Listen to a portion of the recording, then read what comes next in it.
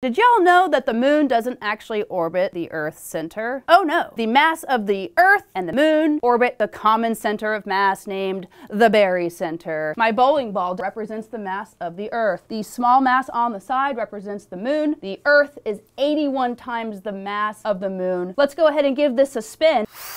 So we let our system go. Notice that the off-center moon mass is now drawing the entire system to wobble. This is truly what happens with our Earth Moon system. The barycenter is in our mantle, not truly the core of Earth, far below the crust, but above the true Earth's core in Earth's mantle. Now, since the orbit is not perfectly circular, the orbit of the moon about the Earth is not always constant. That means that sometimes the moon is a little bit closer and sometimes it's a little bit further away. During its furthest point away in the eccentric orbit, we have a micromoon up in the sky. When it's a little little bit closer during a full moon, we get to view a supermoon.